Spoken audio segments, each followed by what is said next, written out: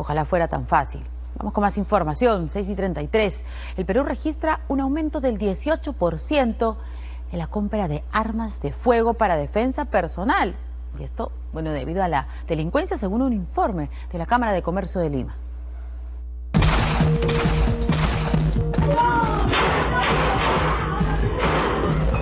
Una nueva cifra pone en evidencia la preocupación de la ciudadanía frente al avance de la delincuencia. El incremento es de un 18% comparado con el mismo periodo del año anterior. Y este, lo que nosotros eh, estimamos es que la, razón principal para el incremento en la demanda de armas es el incremento en la sensación de, de inseguridad. La Comisión de Seguridad de la Cámara de Comercio de Lima reveló que los peruanos gastaron 1.470.000 dólares en armas de fuego en el primer semestre del 2024. A pistolas semiautomáticas y revólveres, ¿no? La gran mayoría son pistolas semiautomáticas. Sin embargo, las licencias para portarlas aún no se han emitido, por lo que las armas permanecen en los almacenes autorizados. La SUCAMEX señala que están siendo más rigurosos en la emisión de los permisos. Así, haciendo una comparación del primer semestre del año 2023, que fue más o menos eh, algo de 22 mil 500 armas, eh, licencias de decir, para las armas de fuego.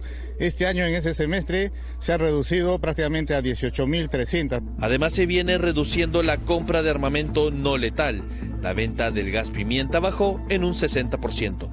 Algunas personas pueden considerar que es que es un no cumple la función defensiva ante un asalto cuando tienes a alguien que va a a asaltarte, robarte con una, con una pistola, ¿no? Entonces, algunas personas están cambiando de, medio de, de defensa.